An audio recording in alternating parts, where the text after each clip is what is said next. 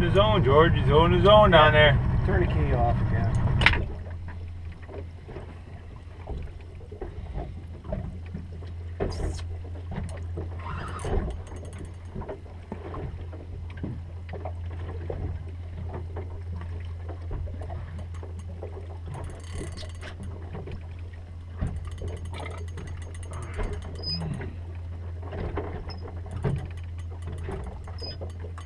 Frank, get those two knives out of that bucket there. Yep.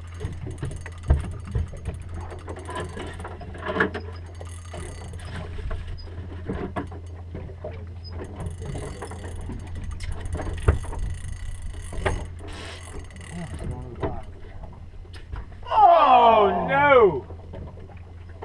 Oh! oh.